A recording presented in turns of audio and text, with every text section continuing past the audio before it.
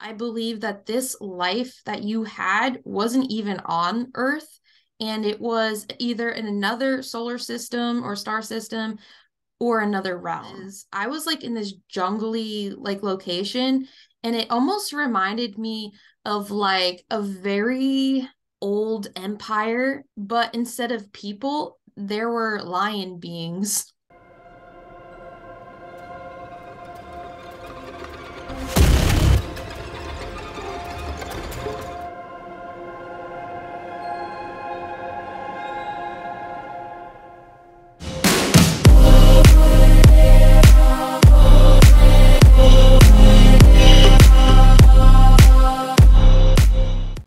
life readings. How can they be helpful? Well, the thing with past life readings is you get to go back in time and see what your past self has done. You can see any lessons that they learned, lessons that they didn't learn but should have, and so on and so forth. And, you know, personally, I really love these types of readings because I feel like I learned more with these types of readings than I do with any other ones because of the lessons that, you know, might, might need to be integrated to your current self now that you missed out on. And also some of the things that has happened in the past or your past life may explain some things that are going on in your current life, like certain fears or certain traumas and so on and so forth. So, with this video today, we have Duran. I thought it would be a fun learning experience to do a past life reading for him. And I was lucky enough for him to accept. And so we pretty much dive into this together. I told him a bunch of information that, you know, he didn't know in advance. So as I'm telling him, this is new information. He, you know, doesn't know of it. And as he's, you know, validating and stuff, I don't know any of the things that he was going to say. So again, it's new for me as well. And, you know, this might be one of my favorite videos because I actually learned a lot of stuff through doing this reading for him, like different types of entities. Um, we came across a civilization that I didn't even know existed, and it dates pre Earth. So that's fun. But anyway, without further ado, I have Duran here from Dead Serious Investigations, and uh, here we go. So, Duran, do you want to introduce yourself? So, pretty much what you do, and you know, and then you can go in and tell people where they can find you. Yeah. So, my name is Duran Conrad. I am the lead host investigator to Dead Serious Investigations. I'm also a demonologist. I study also in ufology, the occult, and um, I do a wide range of other stuff like look researching into secret societies, um, a, lot of other stuff like cryptids, all that type of pretty much everything that's kind of hidden from the public. I that's the stuff I'm really interested in looking into. So I do all that stuff. Um, uh, we investigate homes, we investigate haunted, iconic locations, and we make we establish contact with many things that uh, like spirits, elementals, um, you name it out there. I mean, we're going to figure out and find out what's going on in those locations. And uh, as demonologists, uh, identifying demons, uh, I help people identify their problem, whether if it's a demon problem or if they're just dealing with a spirit that's maybe just agitated because they're frustrated that they're living in their home or they may be trapped and there's a lot of build up emotion um, stuff like that. So i kind of help people understand what kind of stuff that they're dealing with. So that's the kind of line of work i do. Um, yeah. Awesome. oh and then you can find me on instagram. Um, we are on youtube also. So uh, i mean all you got to do dead serious investigations type it up on youtube. You'll find us. It should be videos that will pop up right away uh, unless they shadow ban me. um, so uh, they also we also have uh, the Instagram. It's going to be dead underscore serious underscore investigations, and then you'll find us on Instagram. Mm-hmm. Yep. Yep. And I will link everything and put everything like as I'm editing the video. It'll be on the screen and also down below. So anyone who is interested, you guys can click on the links down below and you can find him. He is really awesome and I'm actually really excited to work with him today. Yay. Yes. Yes. So, yes. So we're going to dive through with um some of these past lives I found, but first I want to talk about like how I got what I got in my process just a little bit for those who are curious. So, usually I'll do a meditation and I'll do it for as long as it takes to get the information. So, depending on the things going on around me, it could take, you know, a few hours or I'll have to chop it up into like days. Um, and when things get complicated or hard to get, because sometimes it'll be hard to get that information I don't know why I do this, but I do this. I take a hunk of rose quartz crystal and I meditate with it. And I just picture it being in the ground and being connected to all of the land of this planet. And it helps me connect faster and get more information. So that is what I did there. And then once I took all my notes through my meditation, I then threw some oracle cards down to validate stuff. And voila, that was the process. So yeah, let's let's get into this. So when I did the notes and I typed them up for you, I put them in chronological order the best I could. So we started with the first past life, which is during pre Earth. And mm-hmm. so I believe that this life that you had wasn't even on Earth and it was either in another solar system or star system or another realm because what i saw was very i didn't expect it and so um where i was i was like in this jungly like location and it almost reminded me of like a very old empire but instead of people there were lion beings now, um, I'm sorry to interrupt. No, it's fine. Uh, so the lion beings were they on all fours, fours, or were they actually stood up, kind of as uh, standing like kind of human?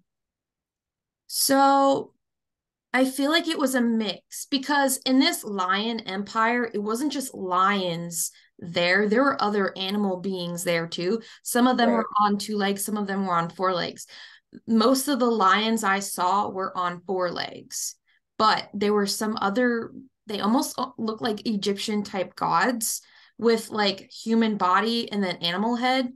Mm. So, yeah.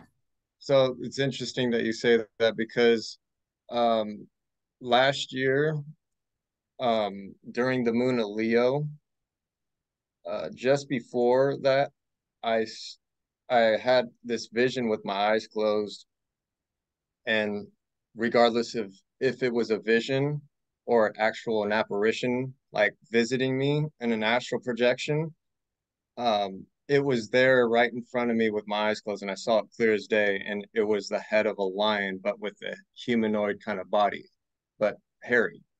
Uh-huh. And so I'm wondering why I saw that because my um my astrology is not really connected to Leo. So that's why I was like, that's what does this mean for me? You know? Mm-hmm. And I was like, I understand the moon of Leo is coming up, but um now that you're saying this, that kind of makes me think back to that now and there's a connection mm-hmm. of why I seen this line. Yeah. I'm getting chills. mm-hmm.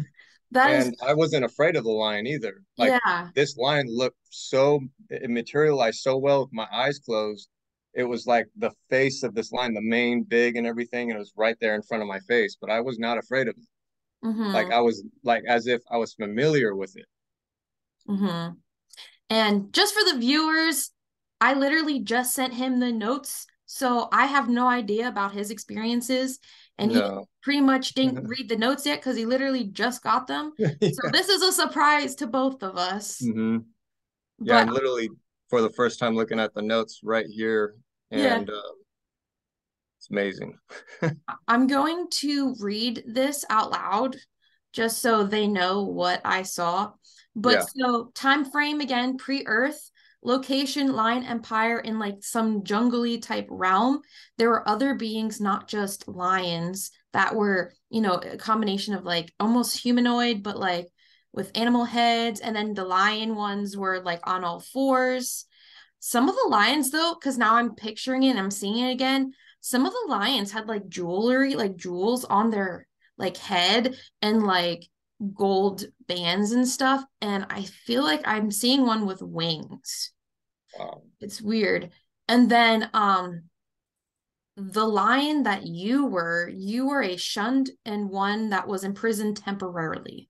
But I'm going to go in and read this entire thing about the astral experience I had. So they literally had this hierarchy within this city of lions, but it was more of an empire. And in a jungle type area among the royal family, and the royal family, like I described, had like the jewelry, had like wings and stuff. Mhm.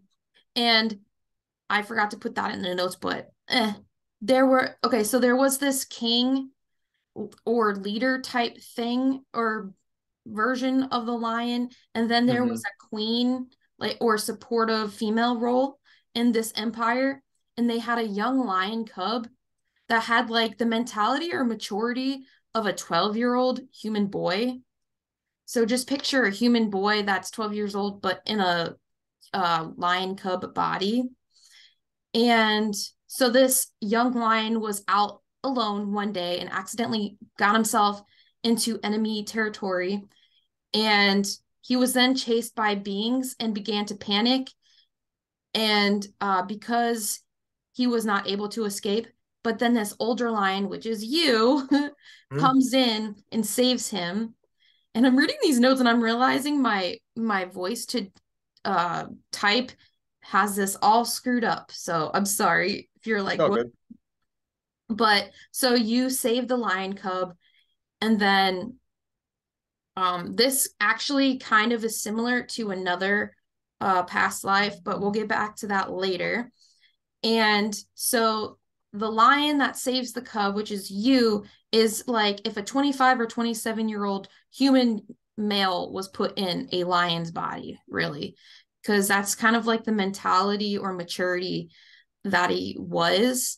Um and then you and this lion cub build like this brotherly bond. And yeah. And the thing is with this lion that saved him he was an outcast which meant he spent most of the time outside of the empire and he wasn't allowed inside the city gates. And so when Win got back to the leader or the king lion um he was thankful that his son was protected.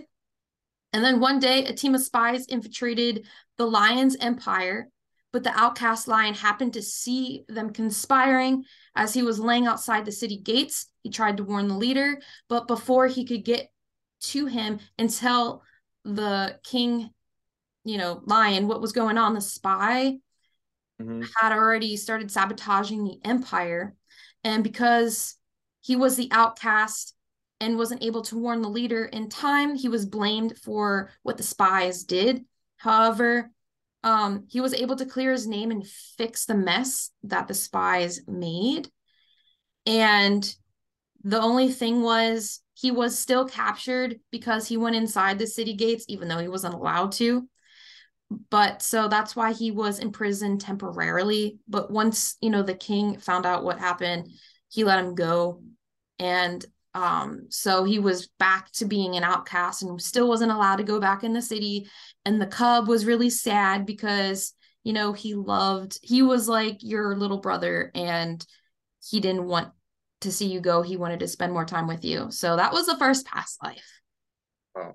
hmm I know I got all that just from one experience. I know, that's awesome. Hmm So when you say the first past life, is that basically the at the birth of my soul or at like the first one that you picked up? That was the first one I picked up. I don't know Okay. if it was the birth of your soul. Mhm. So I don't know about that. I just know Okay. this is in chronological order. This was the first one that I had got. Gotcha. Mm-hmm. The second past life was during the Ice Age. That's all I got, unfortunately. I wish fine. I had more. Mm-hmm. I wish I had more for you on that one. Mm-hmm. Then the third one is between the 13th and 15th century in Palestine.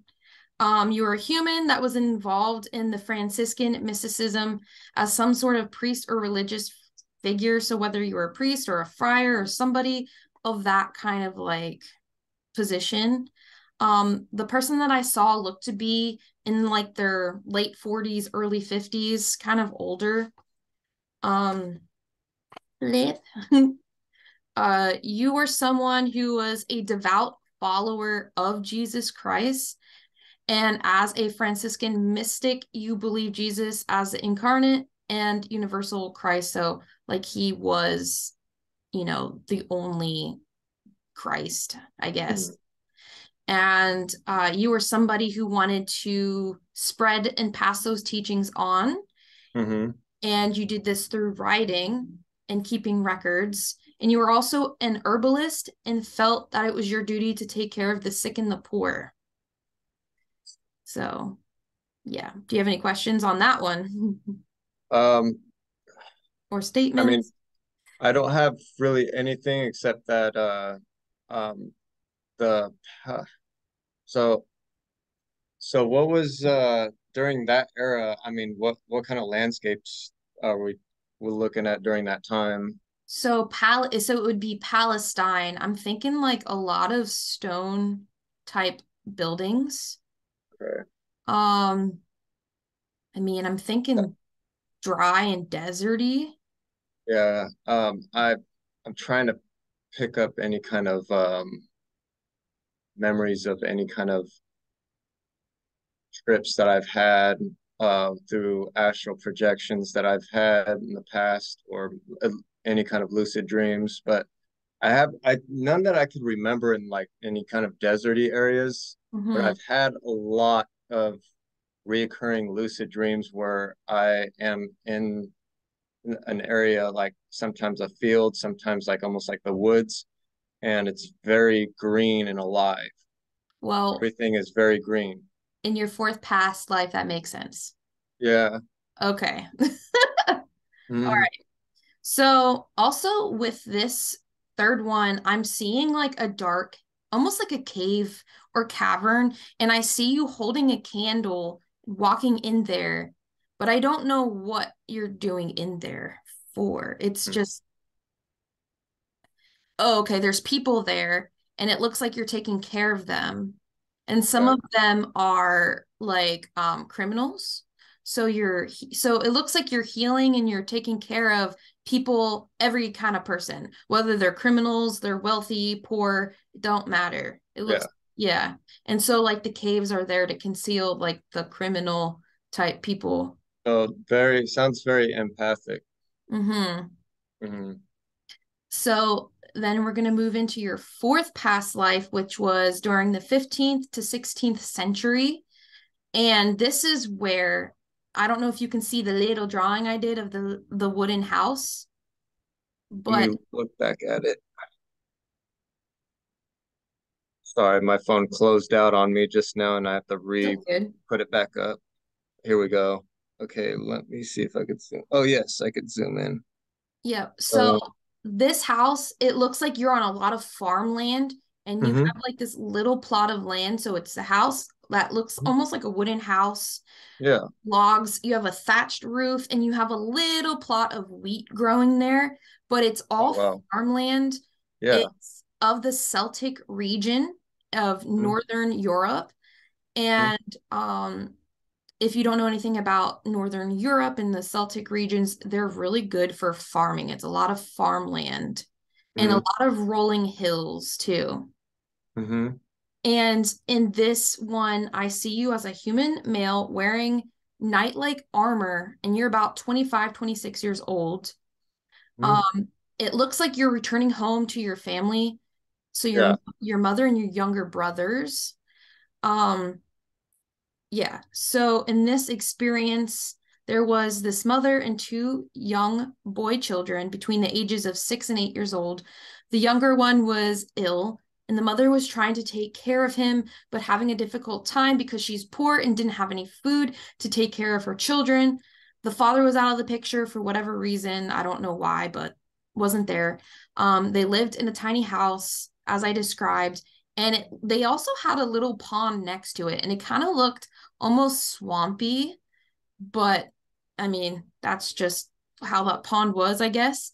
And um, one day, while she was in crisis, your past life, so this man that's 25 to 26 years old comes and he gave the impression that he was either the oldest son or the father, but now I know it was the oldest son.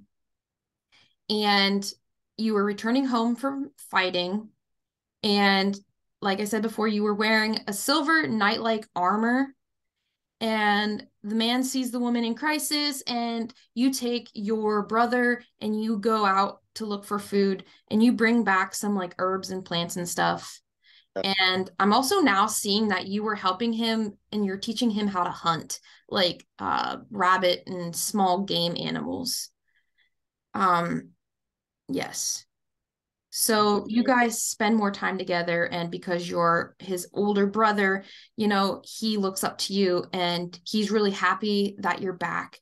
And you spend some time with him at that um little pond next to the house. Yeah. You go searching for stuff for fun because you know Mhm. how little kids be like they want to look for stuff in ponds and that kind of stuff. But you guys Mhm. found some kind of crystals and I guess back then you considered them to be magical stones. And you did find an old toy and some runes from like um the whatchamacalls it's the Viking era. Mm. Yes. Oh, some Viking runes. That's pretty cool. Mm-hmm. Pretty. And yeah, so that one Oh. was that experience. Very cool. Does anything ring any bells for you with this one? Well, eh, I mean, picturing how the landscape is for, um, uh, you know, uh, a Celtic landscape would really make sense for me because I, so here's what's interesting is I'm in um, a field of just this grass. It's kind of like a little above my calves. And um, like it, it looks like it's untouched grass. Mm-hmm. really green and walking through and this is reoccurring too. Th- these visions and, and these dreams are reoccurring that i'm seeing. And they uh they're just past my calves and in the distance there's trees and there's other pat batches of trees big bushy looking trees and the wind is perfect. The temperature is perfect. I could feel it all and i i could and i'm walking barefoot in this grass and so I could feel the grass in between my feet. I could feel the soil, uh, the moisture. I could feel that in the grains of the grass.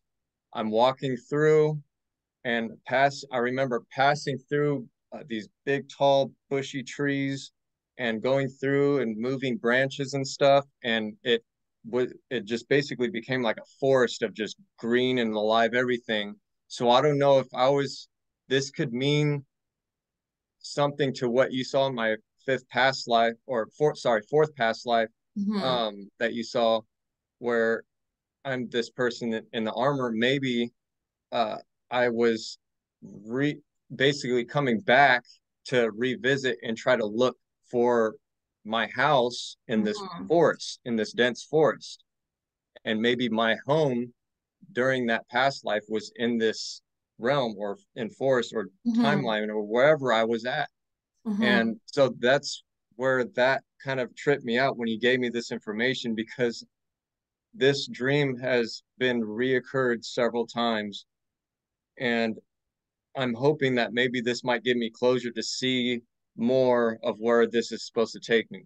Mhm. And um and another note that I want to make about this is that you know, dealing with the stuff that I do because I deal with objects that have anything from most of them being pretty uh malevolent Um, but from time to time, that's why it's really important for me to cleanse on a weekly to even almost daily basis. It depends on what kind of energy that's I'm bringing home, especially at my job.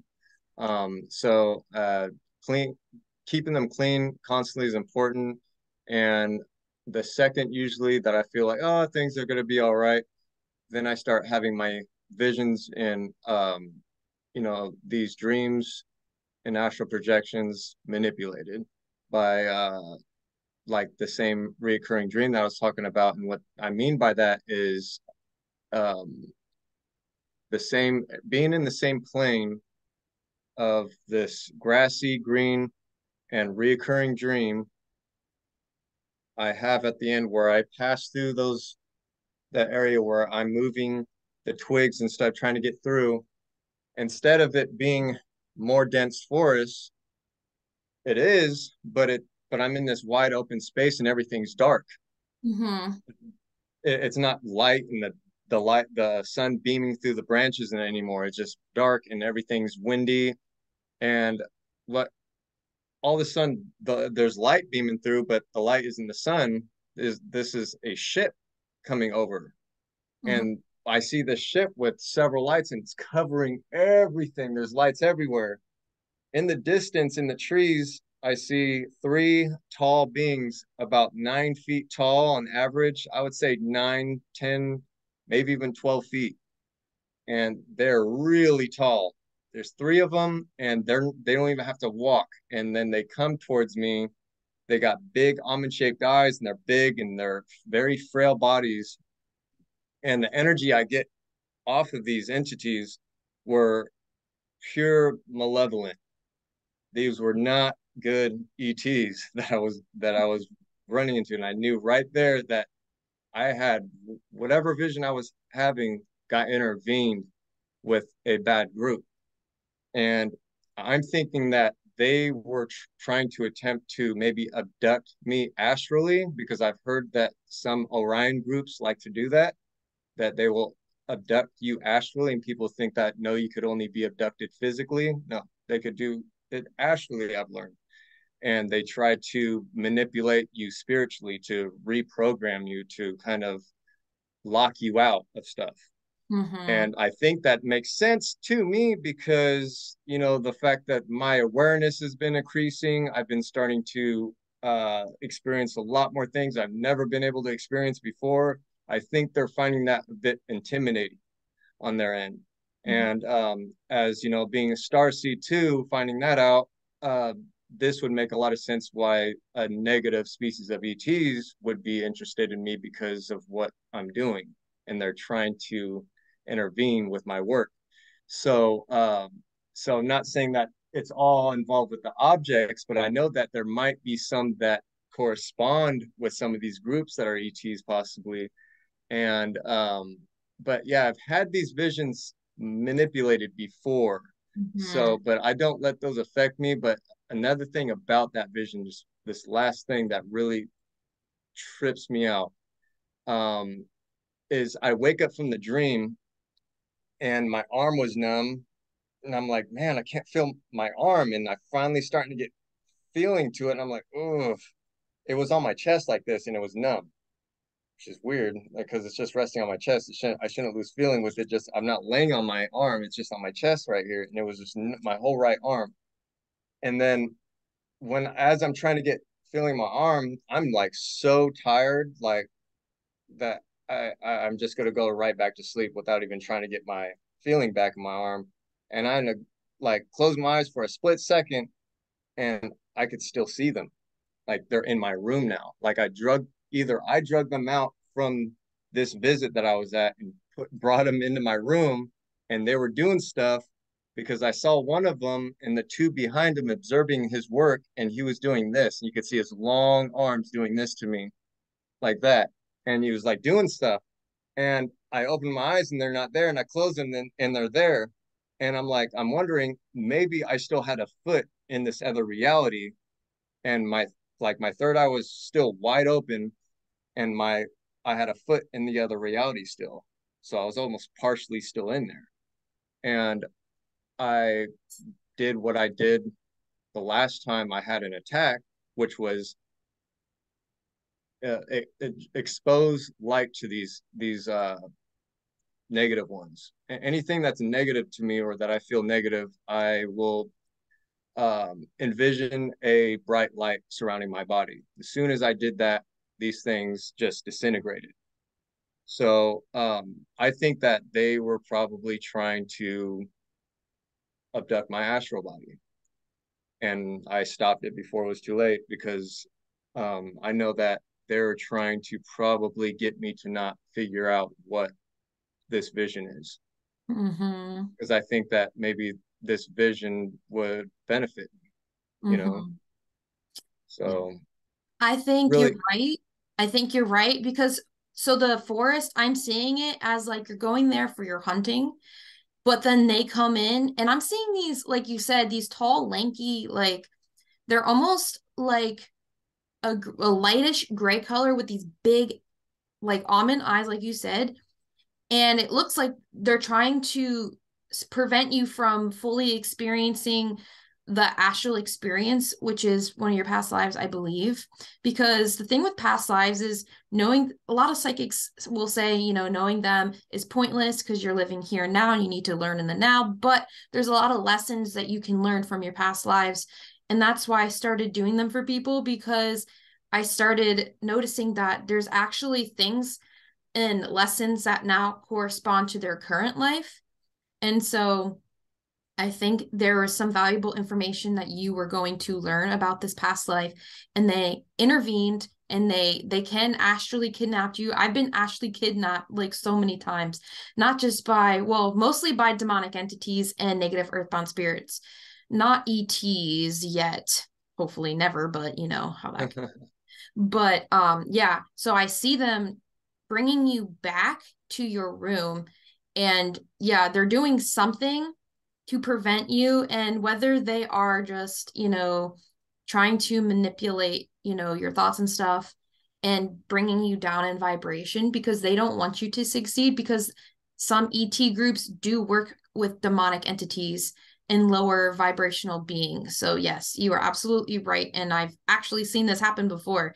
And um yeah so when it comes to that, a lot of them will try to intervene your astral experiences and will try to stop you from learning something important because they want to keep you down in that lower vibe, that lower vibration. So yeah. Absolutely.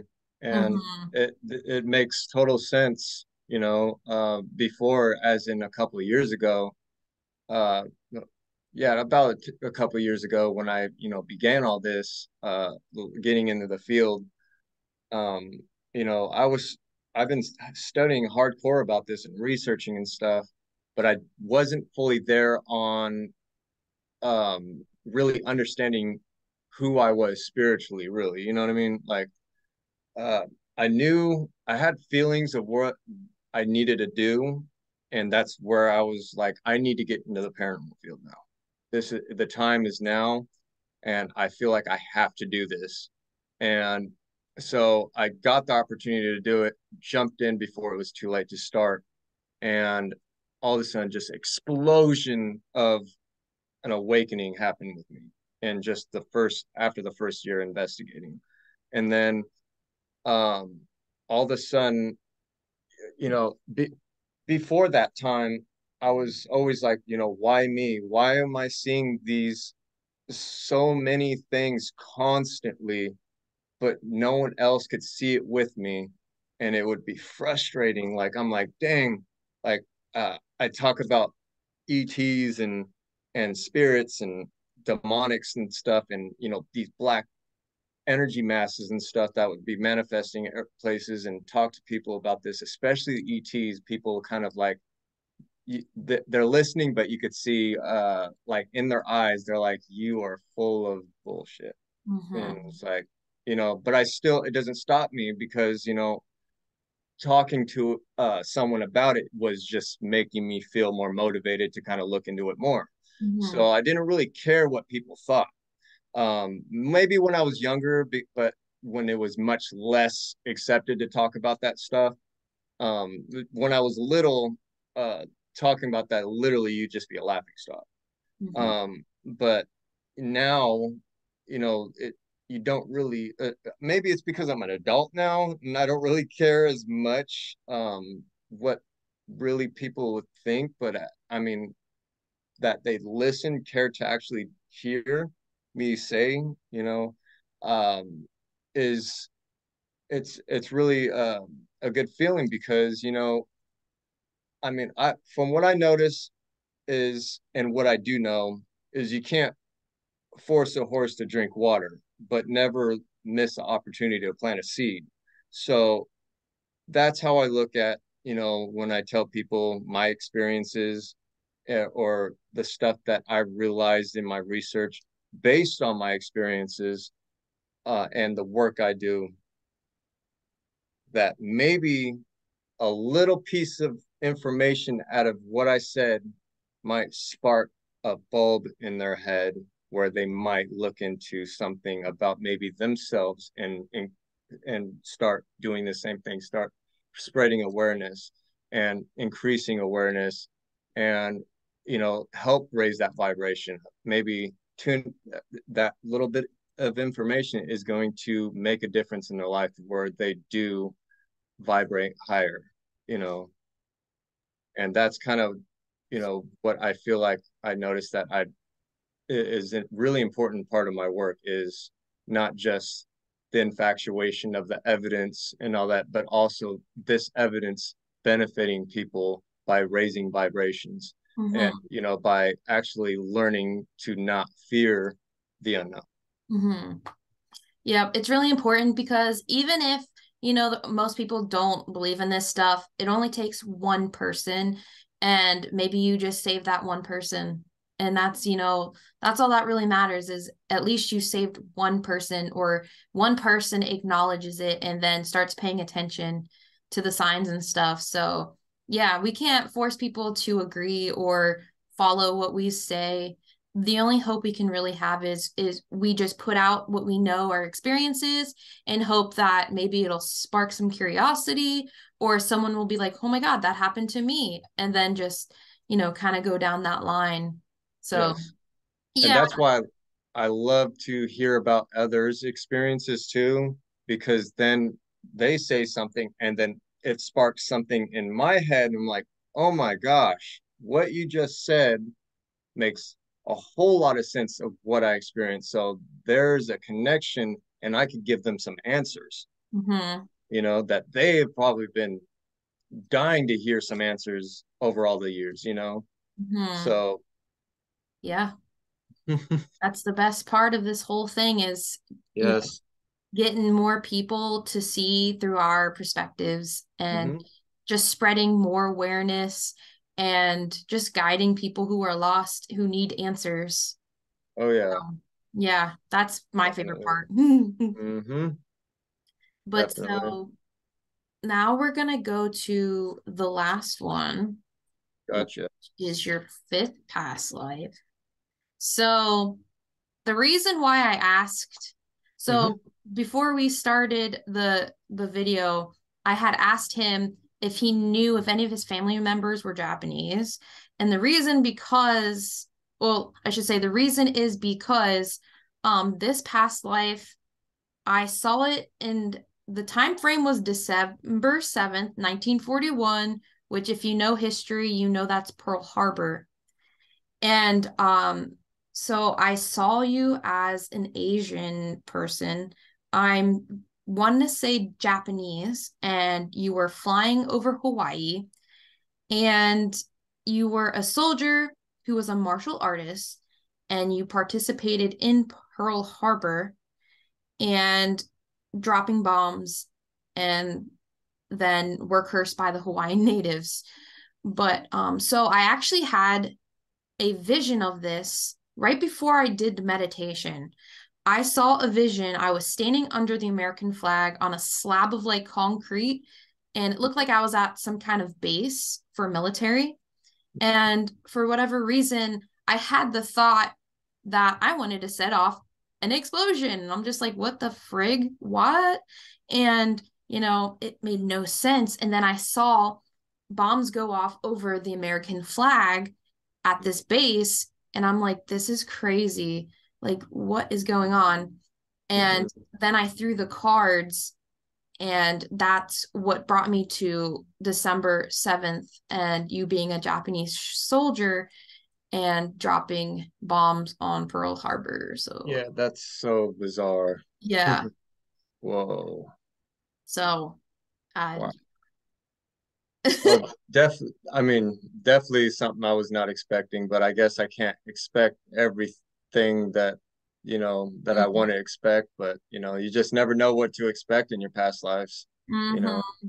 Yeah, and so that was the last one. But so for the lessons, I got leadership as one of the lessons, and it would make sense because it felt like the person doing the bombing felt like it was wrong, but like they couldn't do anything to stop it because you know like in the military it's like you do what you're told. And especially when you have other countries it's like if you don't you you yeah. know so i feel like with some of these there's a leadership lesson and i notice some kind of like um corresponding elements too. So if you think about the whole I feel like you're the kind of person who does a lot of saving or likes to help other people, like you said, empathic. Um mm-hmm. and then it makes sense too with like the knight because when I see your astral form currently, I see you wearing armor and battling some of these negative entities. So it kind of makes sense if you combine that with you being a knight or some kind of warrior in your previous life where you were in like the Celtic land area. Mm-hmm. And then if you combine like the follower of Jesus Christ as that uh, priest figure, the mm-hmm. uh, Franciscan uh, mystic, which is a follower of Jesus Christ and whatnot. So it's like if you combine all these elements together, it kind of puts you what you are now. Yeah. Mm-hmm. That's so crazy. it's yeah. fascinating though. So, um, yeah, I think that you know the the one like I said, there's two of those past lives that really trip me out so much. The lion and the man in the Celtic landscape those i mean when so when you told me about that just before like as i was trying to situate this um i kind of drew a mind blank because i just couldn't uh i was in i was shocked with that i'm actually because it all everything was coming back to me the second i read that and i was like i need to regain my focus and get this mm-hmm. set up and um I was like, oh my gosh, I can't wait to go on video now because I have like so much stuff that I want to tell her about this right now because mm-hmm. this is pretty insane that how much this follows up with a lot of lucid dreams that I've had. Mm-hmm. And um you know it, I, I just wonder with the information that I got from you if it's just a matter of time before something clicks and one of my experiences where I see more now. Mm-hmm. You know what I mean? So that wouldn't surprise me, you know. And what's interesting is that uh, recently, in the past, uh, say five months, some somewhere towards the near beginning, I would say probably February, I started having this ability to now con- uh, basically control when I want to start seeing spirits. If, does that make sense to you? Yep. Um, where like when I have my eyes closed, because sometimes I would go to bed and I'd close my eyes and I'd see them and they would keep me up all night. Like I couldn't turn it off. And like they would just be flying everywhere, flying, manifest, big face, and then dissolve, and then another big face, dissolve, and they would just be everywhere. Um, and so it sometimes it would get I would wake up with a headache because it was just so much. And um I would just feel groggy all day at work because of it, because I just felt like I was up all night, like chit chatting uh, with my my head and seeing just like I was at a party of ghosts. and now I got to a point where I'll actually consciously say like, okay, I know something's around. Can you show yourself real quick? And then all of a sudden, whoop, they start showing. And then I'm like, okay, I'm shutting the door now. And then all of a sudden it's just stopped and it's just black. Mm-hmm. It's so crazy. I'm like, oh my gosh, I could actually control this now. Mm-hmm. And um, I think it's also the confidence too with the awareness that it's also helped.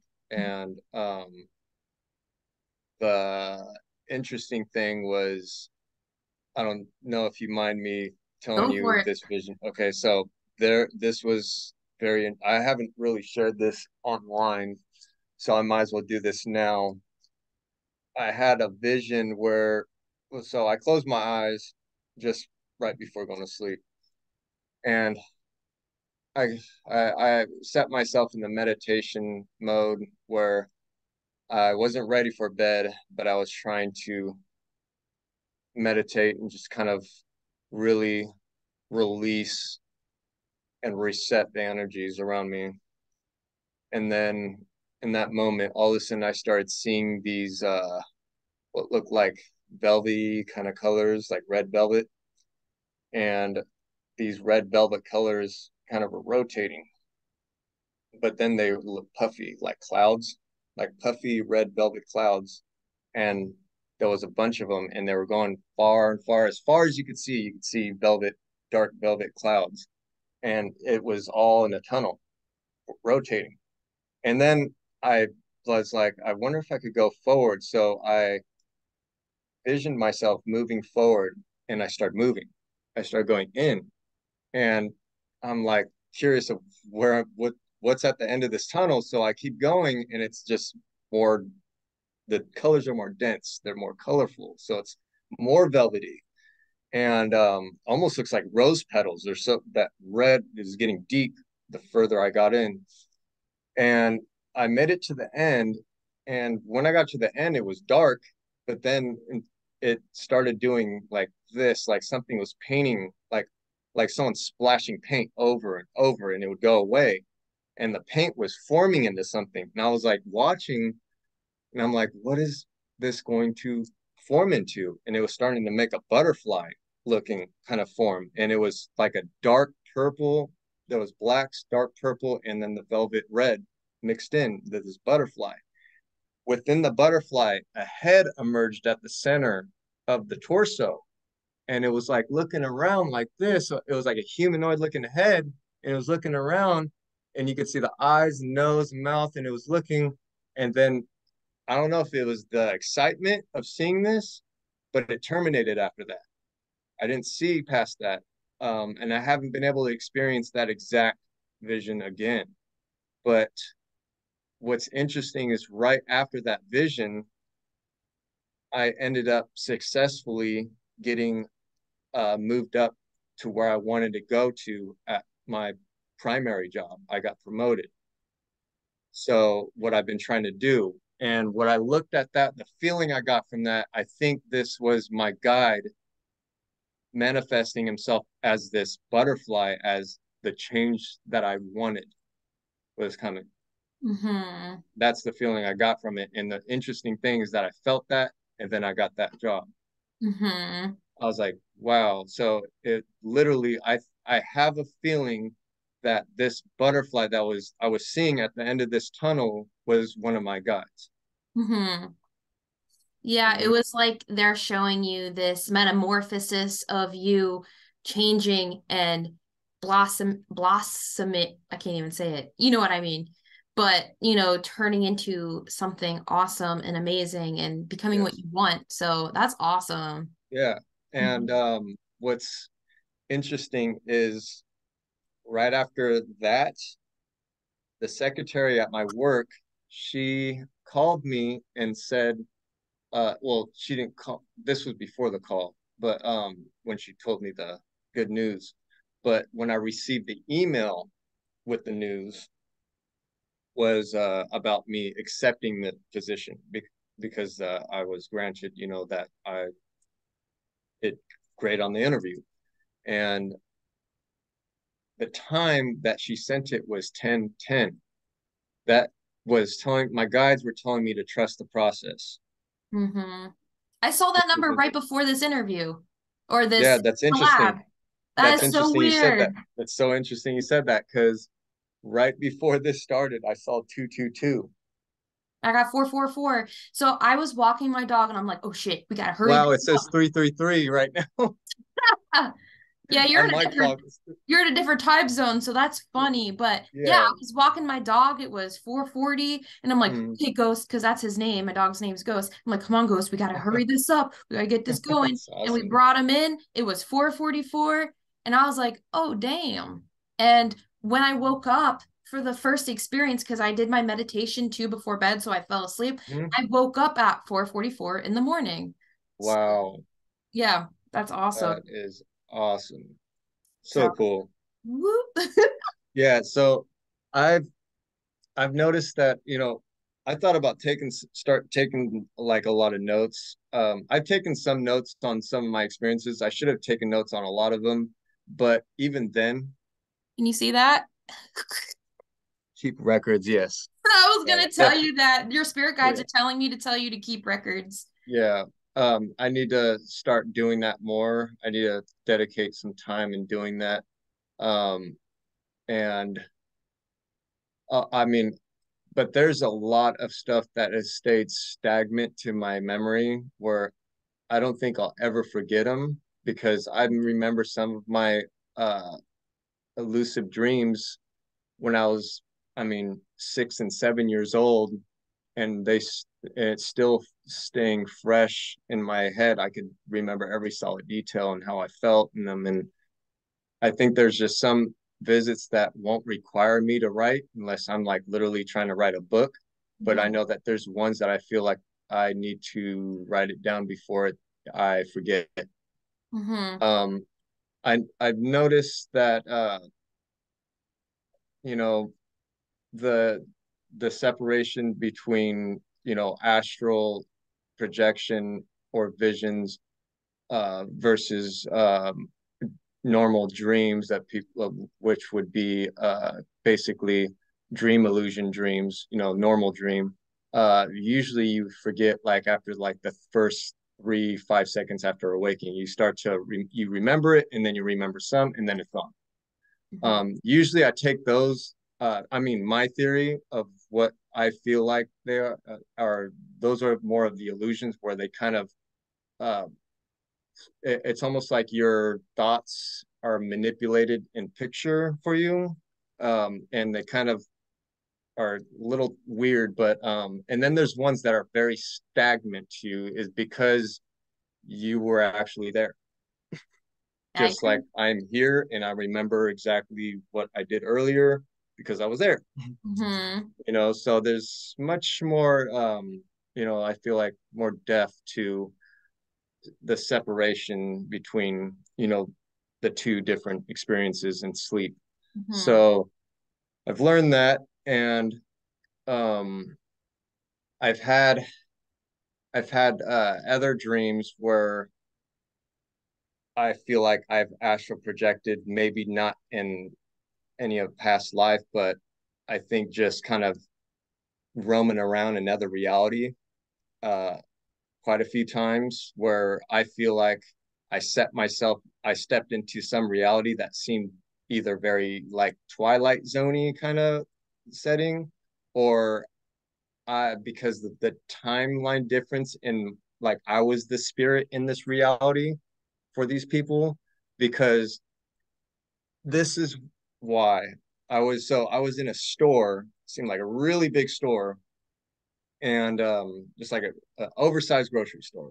I remember the ceiling being really high, uh, almost like a warehouse store, but it didn't look like a warehouse. It was just like really nice, but and clean and uh, uh, just a very fancy store. And I remember going around the aisles. There was not that many people in the aisles. There were employees, but not that many employees. And I remember walking around with my wife and we were walking and looking at stuff and and uh all of a sudden I couldn't find her. And I was like where did she go? And I'm looking around the aisles I can't find her. And so all of a sudden I was like you know what? Maybe she went out the the back because I can't find the front I couldn't find the front end the front door so I was like I'm going to ask one of these employees. So I'm going to ask one of these employees that they've seen her. They're not responding to me. And plus, they're every employee is working like this. And they're like do they're working, but they're working super slow motion with their hands, almost like they're frozen time, but they're barely moving.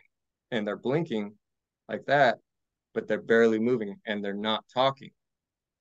And I walk up to another person they're not responding to me. They're doing the same thing, very slow motion. And so I'm like, okay, so I'm able to walk around them in their departments and looking around and everybody in the back room. I walk to the back room and people working on everything super slow and they're standing, just they're standing and blinking. And um, I was, so I was literally about to walk out the back door and I opened the back door to the store and then I woke up. Mm-hmm. So, and the reason why I think that I was the spirit in this realm and they weren't seeing me, they were the physical and I was the, um, the spirit. Mm-hmm. So the reason why I, I think that is because they weren't responding to me. The timeline was different for me for them versus them because I think that the the speed of time was different and I was going super like I was moving at a probably 20 times faster speed than their speed and they're working in super slow to where I could almost barely see them move and I was moving like dark really mm-hmm. fast mm-hmm. because I noticed that with spirits some of them come in slow some of them come in quick and they and the same thing goes with their speaking because when I capture voices, sometimes you will really oversee it or overhear it. Sorry, you'll overhear it easily because I captured ones where you have to get it, turn the, the speed down. All of a sudden, you actually hear a word. You're like, oh my gosh, it wasn't mm-hmm. just a, you're like, what was that weird sound? And that weird sound apparently was a word mm-hmm. because they spoke so fast. Yep. So, therefore, the spirits are actually uh, the frequency of their words are at a much faster time and space than us. Mm-hmm. So, could it be possible that I actually was the spirit there? Mm-hmm. So, what I've learned from Shiva, because I asked him, I because I would be like, so all this stuff happened on the astral realm, and it felt like you know 10 hours and then I was only asleep for two. Why is that? And yeah. he told me that it's because the time on the astral realm in other realms is not the same as on earth. So uh, it goes much faster on the astral realm in other realms than it does here on earth. So what you're saying makes absolute sense and you you were either astral projecting which would make sense because you can mm. go in any timeline you want and, yeah. or you were looking through the eyes of another spirit. So yeah, that makes absolute sense. Yeah. Wow. Yeah. Uh, I've had, you know, dreams where I would go through a whole time lapse of two weeks and then wake up just overnight. And I'm, I'm I felt like two weeks went by. Mm-hmm. Well, where's those two weeks? Yeah. it's like I missed there's missing time here like yeah. where is it all at? And uh it, it's and then but only eight hours would go by. Mm-hmm. and i felt like i've overslept so much. And you know that feeling when you slept you overslept and you just feel like your body just feels so like yeah you know? That's the feeling I, I felt like i literally went through some kind of dead sleep like where i just slept for that whole time but it was only eight hours yeah. And I was like, as if like my body, my astral body was literally out of my body, and my body, my physical body was just like freaking dead weight. Mm-hmm. Yep. Mm-hmm. That helps me a lot. Yeah. Astral travel a lot. So, oh my God, Yeah. that's almost every single night. But Mhm. to the thing you were saying with like the faces and how you would see them, and then you'd be like, okay, I want to see this. That is literally how Chas and I like kind of experience stuff. Because when I go to sleep, it's usually that time frame is when I get the most like spirit Yeah. activity. So I will close my eyes and I will see them. Like their faces will be like right in your face. Super close. Yeah. Oh yeah. Oh yeah. And Mhm. they want your attention. And yeah, that that happens to me all the time. And pretty much what you did and developed, you developed your boundaries. So when you're when you don't want to deal with them, you're just like, okay, goodbye. And so that's awesome that you were able Yeah. to do that. Yeah. I um I've I mean, you know, I feel like I've seen it all, but I know I've only seen a microspec of the uh intelligence out there in the universe. Mhm. Um just because of how many different types of beings. I feel like I've seen more interdimensionals than human being spirits. Uh, but the question to me was always why do I see so many spirits or apparitions that don't seem to look human? Is it because I am glitching things for what they really are, or are they attracted to me in some purpose? So I can give you an answer. so the thing is, when you're open, there are more non-human entities than there are human.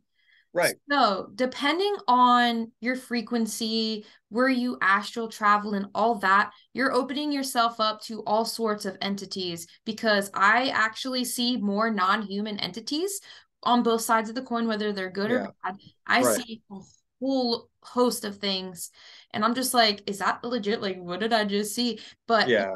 it's it's just because of how we are as beings we have that opportunity to you know witness and come across other entities that Yeah. are non-human so That's amazing that you just said that and explained it that way because Mhm. that makes a whole lot of sense because I look at these other beings as not like, oh, you're a freak. You look like a Yeah. crazy looking. No, I look at them as another conscious being, you know, so they don't really, I don't fear them as much. And the more that I witness this, the less fear I'm getting. Mhm. And um, so it's like I'm very used to it. I'm, I mean, I've seen some really vicious looking demonic beings that don't even affect me anymore. And when I see them, it's like, okay, I see you, but now it's time for you to go. I don't provoke them. I just tell them it's time to go now. And uh, I do my light and they leave. Mhm. I don't, you know, threaten them. I don't do any of that. Uh, but I, you know, I've seen things that look like anglers at the bottom of the ocean, you know, with syringe looking needle teeth with a big underbite. And they got these little beady bright eyes. And they look like something straight out of uh, a, a, a little child's worst scary nightmare. Mhm. And and they'll be right there in front of me, like face to face with me, and try to intimidate me. And um, yeah, it's a little bit of a shock, but I feel like that's natural to be like gonna like for a moment, and then but after that moment, you're like, I know what to do right now. Mhm. You know? Yeah, and it's interesting you mentioned the anglerfish thing because not too long ago I was talking to Chastity as we were Mhm. discussing our episodes, and I always every time I have an experience, I'll message her and be like, "This just happened," and I did see an entity just like that, and I was like, Really? "Hey, "Yeah," and I feel like we were talking or doing something for somebody, and I was like, "Okay, well, I see it like this anglerfish thing." And so, yeah, that is very interesting. Wow. But I know pretty much every living thing, whether it's an animal or a plant, has its own spirit tied to it. I've seen like entities that are like the cross between a fae and a demon. I've seen kappas, like the Japanese folklore. I've seen um I've seen very extraterrestrial things. I've Yes. seen very molecular things. Mhm. It's there's just so many. And it's like when they you see it, you're like, oh, okay, cool. I've actually had one experience with an ET, and that was on the astral realm. And we were having like this party. I don't even know if when we were doing the interview with uh Lights at Midnight and you, if I talked about this, but it was like I had this experience where I was at this party. I saw this ET. It was a good ET, but his skin was like blotchy, but it was like pink and blue, but blotchy. And he was humanoid and yeah. whatnot. And he was just having a great time. I'm like, cool. Yeah. Like it was so lit mm-hmm. and so awesome. And just to see all the different entities that yes. even exist, even, you know, the ones that we see, like you said, aren't don't even make up a microscopic amount. Yeah, no. There are so many. So many. It's it's crazy because if you look at it, um, in the physical realm, there are species. In the astral realm, there are species. In other dimensions, there are species. So it's how many species really exist, you can't really say because everything because people some people look at the astral realm like it doesn't exist because it's invisible. Yeah. So it doesn't count. So no, astral you, so spirits can feel, they have emotions, they could feel pain, they could mm-hmm. it's another layer of existence. It um and to me I feel like, you know, just because it, so because there's people that are trapped in the physical realm of things so they look at everything materialistic mm-hmm. um uh, unfortunately that's kind of the uh thing that that's the catalyst of humanity is looking at things materialistic but um you know with the phys i i don't know what it is but in the past few years or I wouldn't say few years. I would say two. Oh no, yeah, a few years. I started overcoming this feeling of being less afraid of the of well, yeah, less afraid of the non-material world versus the physical world.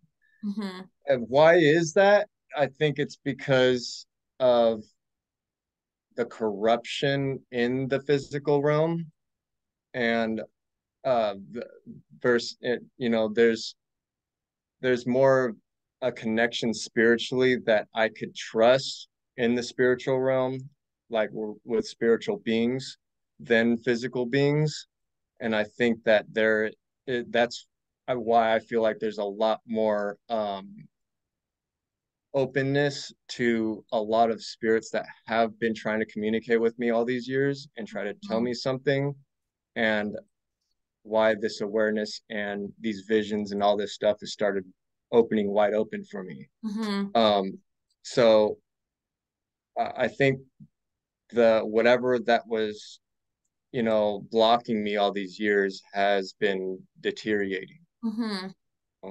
and i think that that blockage was coming from you know, negative groups of ETs um, and demonics. And I think that there are a lot of angelic uh, ET groups that are very high frequency that are also mm-hmm. working mm-hmm. with me too, as well as archangels. And I've have uh, felt um, Archangel Michael's presence around me before, and I just knew it was him. And I asked, I said, I've never met you before. Is it okay if I could see you? And the second I said that with my eyes closed, I saw him for a, se- he gave me a second to see him and it shimmered like this. And it was this big masculine guy. It, it just was all silver. He almost looked like a, like a perfect statue. Mm-hmm. And that's how I saw him. And I knew right there that was him. Mm-hmm. And he did it right on my asking. He's awesome. Yeah. yeah. I want to stop you real quick. Yes. Um, so my printer had just gone off by itself. But before that happened, my spirit guide just said, Hey, if you listen back to this recording, you're going to hear an EVP. And then right after they said it, that's when my printer went off. that's crazy. I don't know if you saw me looking like like over there, but mm-hmm. yeah, I was like, what is that's so crazy. Oh so around this time, doesn't surprise me. We need to go back into the footage and find some EVPs because I know we're gonna find some. Probably. Mm-hmm. Um, I would not be surprised. Just heads up if you hear like a baby crying in the distance, some neighbors, their baby was out here crying a little bit ago. I think it was when you were that was during the time you were talking about going over the past lives and stuff. Oh, okay. There's still kids down there, so if you hear like, yeah, they're kind of talking. So, mm-hmm. um, but if you share some of those, uh, if you find anything on your end, mm-hmm. share it with me because then I could try to validate it if it's this little girl's voice down here. Okay, okay. Hear her talking right down there. Yeah, because what I thought I heard was a woman's voice. It didn't sound like a child. Yeah, I only hear children down there. Yeah, it, I didn't yeah. hear a child voice. Okay. So that's yeah, freaky. Yeah. but um yeah, that's that was uh, kind of a frustrating thing for me when I investigate anything like live here in this section mm-hmm. is the contamination of neighbors because I live in an apartment. Yeah. So there it's and it gets very busy. That's why I like to do my lives late at night when people are more settled and, and mm-hmm. quiet. Um, right now it's obviously early um in the day still, but um yeah, but learning like the voices of people out there, like so I could identify, you know, mm-hmm. them versus this. And plus, usually when you get that spirit talking, there's a certain pitch that you hear from that sounds very ghostly. They're yeah. uh, uh, kind of like a most of the disembodied, like especially if it's disembodied voice. Most of them, I mean, very rarely I've caught some that almost sound like a just a straight another voice in the room. Mm-hmm. But most of the time through camera eh, or the EVP recorder, they have this distinct sound of sounding like someone talking underwater mm-hmm. or like past a wall and um but generally that's how i hear it i hear that somewhat often like if i'm trying to go to bed i'll hear like a faint voice that sounds like that mm-hmm. or um uh, just other random stuff another thing i want to actually before i forget is i've had you know I'm sure you get this a lot, the ringing in your ears. Oh before, my god. Before and after experiencing something. Every single day. yeah, that's usually what'll happen. Like sometimes the ringing in my ear will happen and then all of a sudden I experience some paranormal activity. Mm-hmm. So it's like like uh I don't know if that's a guide um get telling me to be alert of something that's about to happen. So I from what I've been taught it's your like the archangel and guide ear, and then your left is like you know um, extraterrestrial groups um, or ET or upgrade and stuff like that. And um, so I get like periodic times they'll switch. Sometimes this side, sometimes this type, sometimes high pitch, sometimes mid pitch, sometimes low pitch. And I also count how long sometimes the pitch is. Sometimes it'll be like for one second or half a second. It'll just be one quick ring and then gone. Um, sometimes it'll be like a long five second ring or even longer. But I think the weirdest ones that I've gotten, I don't know if you've experienced this before, but this sounded some type, it, it sounded like some type of weird planetary uh signal. It was making some weird, like it sounded like some bizarre 1960, 1950 style UFO type 50s movie kind of sound effect, UFO sound effects, like like, like the beeps, multiple beeps, right? Beeps and shit. Yeah. yeah. okay. And, yeah. And whooshing, whoosh, whoosh, whoosh, yep. whoosh, whoosh, and it, it sound like a old computer device that were that they, mm-hmm. you know, back like you know some science uh fiction type movie you know in the mm-hmm. in the olden days you know and, and it sounded like that and i was here i would hear the those tones every now and then. It's happened to me twice already. Mm-hmm. it's happened to me at work and i'm looking around and no one's around me and i'm thinking it's my phone. My phone's not doing nothing. I'm like why am i hearing this kind of stuff in my ear? So i don't know if i'm like receiving signals from uh from something far away or what or in another plane or a realm.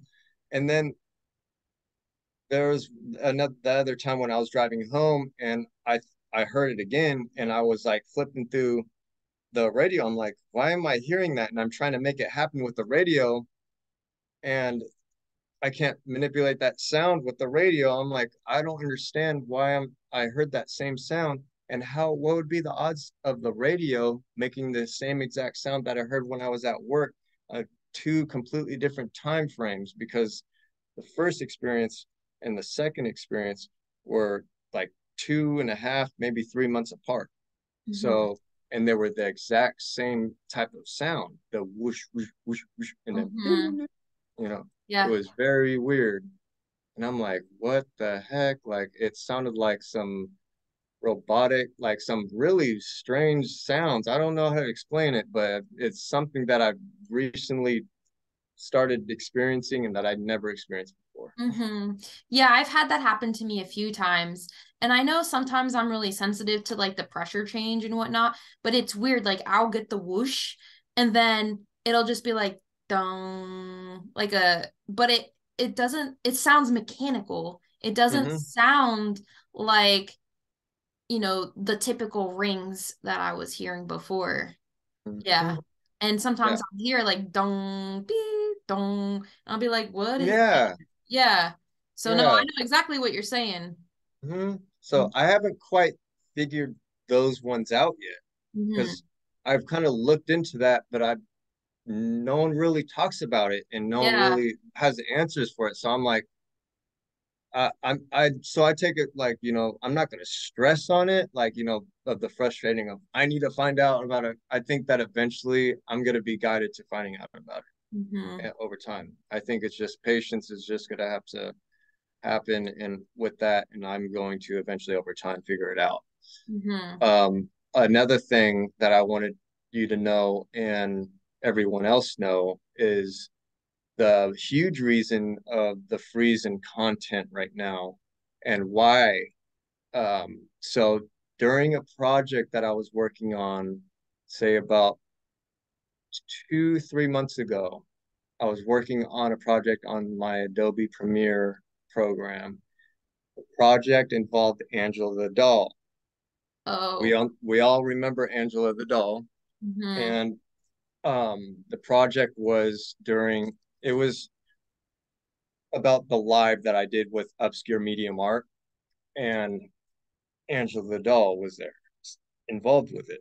So I was doing a highlight sketch, little short, it was about four to six minutes long and it was just all like the bombshell activity that was captured during that live through the infrared camera. So towards the end, I had all the dialogue in there, at everything set. And literally all I had was some minor grammar errors. And right at the end, I literally had just fin- have to finish two more grammar errors and then export and that would be it. And that would be done. Before I could finish those last two grammar errors, all of a sudden, my portable drive starts going beep, beep, beep, beep, beep, beep, beep, making weird beeping sounds. And I'm like, what, what's the matter with you? Mm-hmm. and then all of a sudden, the Adobe software says it's not responding. And it was just like everything, all my content on the thing, all my clips were gone. And it was just spiraling with this like not responding. I was like what? Mm-hmm. i was mm-hmm. almost done. And then it just shuts down on me. And i'm like what just happened? And my uh, i closed the program closed everything out carefully take out my hard drive because it's still beeping. And um, i put it back in it does it again and it's not showing it existent in the laptop. It can't find my hard drive. It's just gone.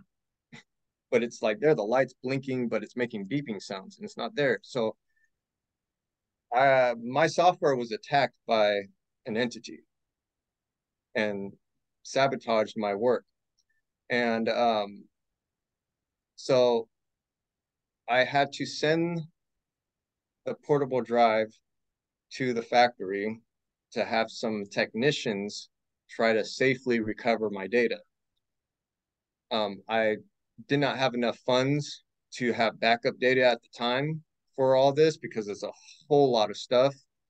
I only had so much backed up on the primary hard drive on my laptop, but uh, my two terabyte portable drive, which was still, I still have probably um, like a good four, I would say 0.4 almost half of the hard drive still remaining. So that wouldn't even be an excuse for it to shut down like that. But um, considering the, you know, time, the timing of that happening. Uh, so I sent it in and they finally sent it back, you know, a month later. And this is recently. Checked the hard drive and I only got 40% back. And the other percent is either corrupted or it's it can't find the file. Mm-hmm. So now I have to find another technician that could help me carefully get this because it's there, it's existent. Mm-hmm. It just needs to be corrected because they didn't do what they, they said it was 100% and then sent it. They didn't, I don't think, I'm pretty sure they just kind of half did it and then just mm-hmm. sent it. Mm-hmm. And um, even there's other people that know about this stuff a little bit more than me that are more tech savvy with computers that say that they didn't do a full job with it.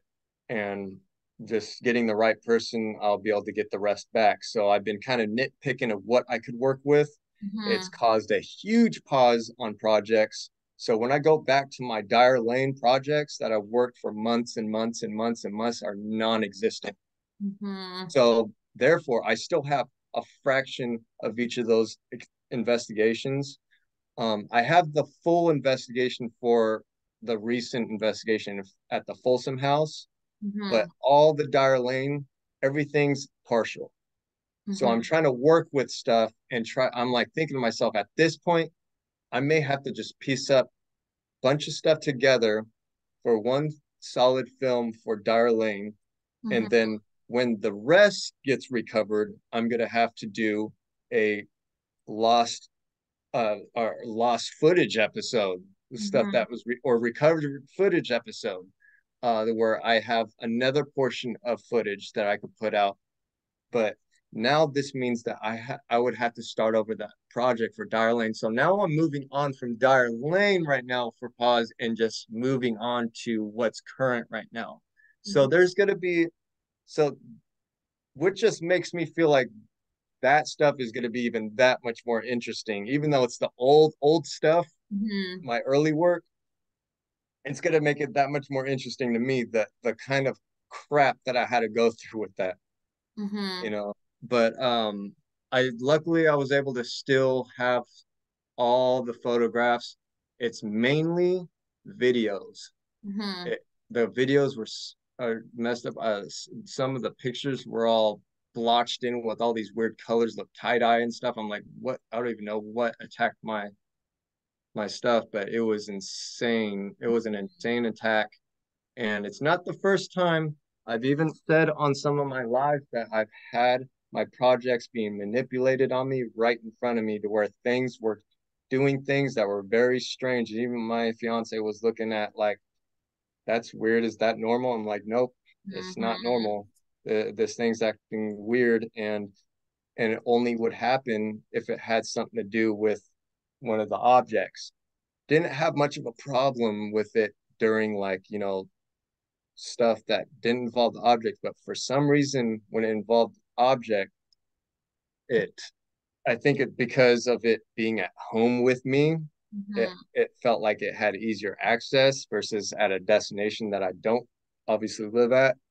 And plus, they like to do mischievous mischievous things, mm-hmm. uh, the things that are in this. So they like to try to do that to agitate. But I think that I think because of the stuff that was being released, um, I will say this.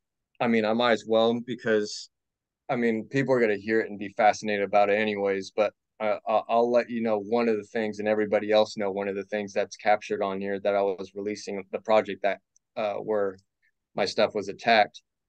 Anza the doll announced Demon on record and I got it on video on the audio and it's clear as day. And I even called it out too right there on cue. I said, I think it just said demon mm-hmm. and it mm-hmm. said it and and here's what's weird it said it in an australian accent the doll did come from australia and it was a female Australian name, says Demon, like the way the accent was. And I know that it's very strong uh, accent that popped through and kind of uh it kind of made a lot of sense because that helped me validate which object that was coming from because I only have one object that I know for sure that came from Australia. So, and it said don't before eh, because no voices came through until I put the spirit box right over it and then it said don't demon. so it was like like don't touch me demon like it it's kind of giving its warning like stop getting close to me. And um you know, as far as like the also the evidence on that live where I was talking about, you know, why Angela is Angela, you know, the the purpose of that doll looking the way because it was crafted as, you know, horror memorabilia for me from some friends of mine, uh, obscure medium. They do breathtaking art, uh, dark art, and I had them craft this doll from an antique doll and to make it look like Angela from Night of the Demons, my favorite horror film. And uh, the entities in this doll understood that. They actually knew that Angela from Night of the Demons, she dances in that movie. And it said dance or dancing. I think it was dance, I want to say. It said dance on the ovilus. And I was like, that is crazy because Angela dances in that movie. And then it said Mary, not Mary in the name, but Mary like a wedding, Mary. And what is she wearing? A black wedding gown. so I understood that too. I'm like, whoa, you got dancing, you got Mary. Mm-hmm. This thing knew exactly what it resembled, what it is. And um, and it even said don't and then demon. And then I I'll disclose this too. Um, but I think this is what kind of caused that because right when it said this is when this happened. So at the end of the video, it said 666. And because I, I said, What's in you? and it and a voice came through the spirit box or at least I think it came from the spirit box, but it sounded disembodied. You know that what I was saying? It sounded like it's talking underwater. Mm-hmm. That's where I felt like it was more disembodied and didn't come through the spirit uh, box speaker. And uh, it it and also what makes me feel like that it didn't is because only my infrared camera caught it. So it's it's disembodied. And I asked it. I said, uh, I said, "What's in you?" And it said six six six like that and I slow mode it and it does it six, six, six. And then I quit my hard drive crashed right after that. Oh, yeah. So I want to tell you as this like last thing before we end it here, but yes.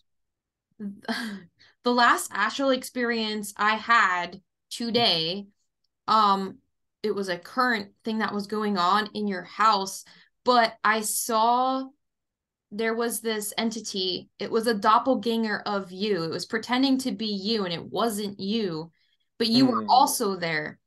And um my guides were walking me through your house and they said there's a portal in a bedroom. And that's all they told me. So interesting.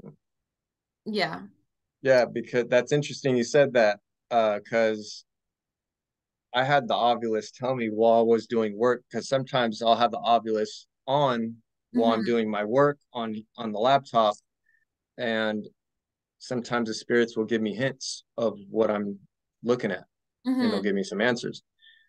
All of a sudden, I get portal closet arrived, and I'm like, oh wow, that's interesting, and that all connects together as like you just said a sentence on my Ovilus device, mm-hmm. and I'm like, so uh, and I'm looking at my closet. My closet's open, and I'm like, "Oh, that's interesting." Is so it your bedroom? It could be my bedroom, maybe. Because they were saying it's in the bedroom, like the main bedroom. So that's why I was mm-hmm. like, "Yeah, could be." Okay. Could be my closet, maybe in my room. could be uh, uh that's what I'm thinking. Um I know that I do have I mean I do have a lot of protection in my room, but I do have a lot of amplified energy in my room that could probably generate portals.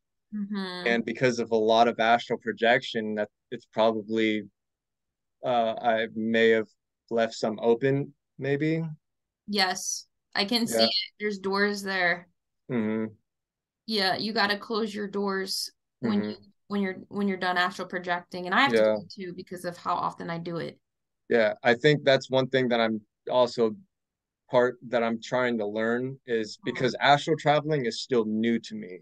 Mm-hmm. I feel like um it's more I feel like it's a little bit more complex learning how to control the astral projecting mm-hmm. versus you know uh seeing spirits with my eyes closed mm-hmm. and um the i think also the patience has helped me with the seeing spirits my eyes closed being able to shut it out and turn it on mm-hmm. but the astral projection is completely different type of learning um involved with that i feel like Mm-hmm. And the thing too with your dolls and your spirit box yeah. when you do your investigations, because yeah. my guys are showing me this right now. It's like every time you have a mode of contact, because they're there talking to you, it's like when you do your astral projecting, you create the portals. Well, same thing when they come to you. It's like they leave a door there every time they come back and forth to communicate. So the spirit box is a tool, obviously, and they're using it to communicate but yeah. it's like them that energy frequency of them coming in it's like leaving that door there for them to come yeah.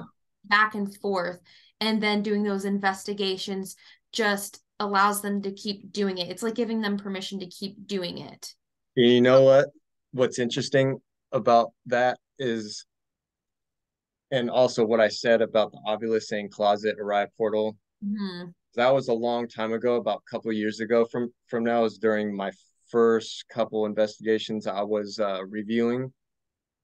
But recently, we've been noticing a lot of activity right at the doorway threshold of the room. So I don't know if maybe the portal isn't there in the closet anymore, but right on the threshold. You have multiple. Oh, it's multiple. I okay. see multiple. So I'm seeing makes... multiple right now. So you have one yeah. in the bedroom, that's mm. the one they showed me up in the astral realm. But mm. now I'm seeing for each item that you communicate with has its mm. own portal. And you have yeah, them all in one room. So yeah, because I've seen I see a lot of spirits. I mean, I see good and bad, like I said, but um most recently I seen a lot of uh small little gray ETs, like like children looking. They're like they're this tall, right? Tiny, they're, very they're like, tiny. So yeah, two feet they tall, look like, right? Yeah, super yeah. small. Like they could be like this small. They could be up to my thigh area, as as big as that. So they're about this small, like as if like a gnome size, you know, yeah. like a garden gnome, like that, to about up to my thigh, like the tallest that I've seen. And they like to kind of look at the doorway and they're looking at me and some of them are reaching over each other to see inside and you could mm-hmm. see their eyes blinking blink blink blink blink and uh their almond shaped eyes and they're they're bald their the whole body's bald mm-hmm. and uh they're but yeah they kind of looking and they they do this a lot. They do a lot of peek peek yeah. like that. And every time i look i move my eyes over they move or mm-hmm. they're gone. And but i could see them clear as day through my peripheral vision. And i could see their eyes blinking blink blink like that and they're looking. Yeah. I've had an experience in my old office where you know it would be dead with no customers so i'd be sitting there looking through the air and i was able to see literally a gray type alien it was like two feet mm-hmm. tall and it was literally like walking up invisible stairs like you could see it walking up these stairs wow. And I'm like, what is going on? Why am I seeing this? But it's like there are so many realms and dimensions on top of each other yeah that you know they don't see us and we don't see them most of the time but i was yeah. able to see into their realm or dimension so it was kind of yeah. cool so i know exactly what you're talking about because i've seen yeah. the little ones yeah the the timeline differences is what does make things complex for contact with each other mm-hmm. with the spirits and us and other interdimensionals and us. Um, and that I've had I've asked questions with spirits through the spirit box on investigations. What timeline are you coming from? Like, you know, try, trying to convince them to understand where I'm coming from in their timeline. So maybe that that could help. And I get a response saying, I can't really tell. Oh, like yeah. they literally told me like that there I could see that there's confusion with some spirits that they don't fully even understand their timeline and how Yeah. to connect that with ours so that way it could make more sense with each other hmm so i could that's why some messages and this is for a lot of paranormal investigators out there is when hmm you get answers through your spirit boxes or disembodied voices is Yeah. that you will get delayed answers all the time or Yeah. you'll get an answer way before you've asked it is because Yeah. the timeline differences hmm so um but yeah so all I know is that the the portals there and there makes sense because you know I think that the, it it's always like like I said I have to cleanse a lot because I have to shut portals down constantly and eh, you know shut them. But sometimes I I have to keep up a little bit more on a continuous basis. Sometimes I get so clustered with so much stuff on my plate where I'm I'm like, man, I ran out of time to be able to to close. And it, with the cross between work and then doing this and then father time and and you know just so much stuff just uh, everywhere and uh and then working the later shifts at my job makes it difficult too because uh I don't want to wake up my son to cleanse the whole apartment so Mhm. um I have to wait on days that I'm usually home. That's why I try to do it like on a weekly to sometimes I'll do it back to back on both my days off just to Mhm. kind of get that extra, you know, I, I do two different types of cleanses. I'll do a cleanse and then I'll do like a a medit a deep meditation cleanse and kind of um really just use my light for a while to kind of really amp amplify the house with some white light and um and it'll feel really really clean really good in the house but yeah these these objects i know that um i think i handle my my objects very well i know Mhm. that these dolls some of these dolls in in the wrong hands and some people that are just kind of buying off or getting on curiosity some of these could really ruin people's lives and i Mhm. think that with the path that i'm in right now the timeline that i'm in I think that I'm handling them pretty well, and which makes me feel like I think that obviously I've been destined to do this. Um, even a lot of psychics, and one of the psychics that I actually work with, she even says, you know, no one could touch Pam. For some reason, I am the only one that Pam allows to touch. Um, I think it could be more of the care and ownership because how well I care for the the object, Mhm. uh, and how she spoke about that the dog can be protective of me as well as it could harm me because the doll the entities in the doll aren't benevolent. They're ancient and they they're false. They Mhm. are um they're very malevolent.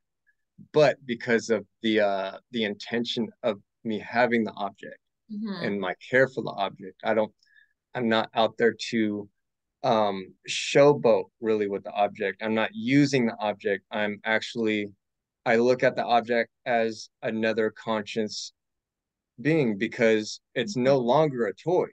It's there are actual conscious entities inside that object. Mhm. So that awareness is definitely very important with dealing with these objects. So Mhm. that's what all I got to say about, you know, dealing with objects like that because it's extremely dangerous. Uh, if you're people out there um, intentionally buying haunted objects for entertainment, Mhm. kind of kind of manifest that into their lives because Mhm. um, I, I see that a lot, a lot.